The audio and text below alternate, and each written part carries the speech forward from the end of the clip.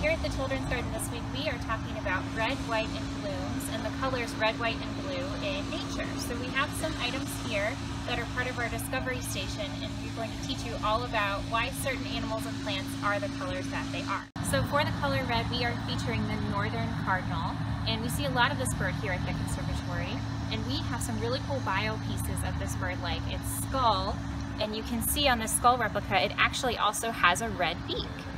And the cardinal is really cool because it eats red berries and on the male that turns its feathers even redder. For the color white, we are featuring the white-tailed deer. And this animal, as many of you know, is not fully white, but it's known for its white tail, which flashes up when it sees a predator as a warning to that predator that it knows that it's there. And we have some really cool bio um, pieces from this as well. This is a real deer antler that the kids can come and touch, and we also have a replica skull um, to show the kids just how big this animal actually is. So for the color blue, we are featuring some animals that you'll find inside of the conservatory, one of them being our blue and gold macaws. And this is actually one of their feathers from Nick and Max, our resident macaws. These are really interesting feathers because one side is blue and the other side is yellow.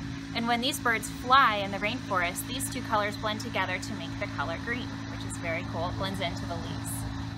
So these are just a few of our bio pieces and flowers and other natural objects that we are talking about with Red, White, and Blue this week in the Children's Garden. And we will be open on the 4th of July, so come see us and learn all about these great colors in nature.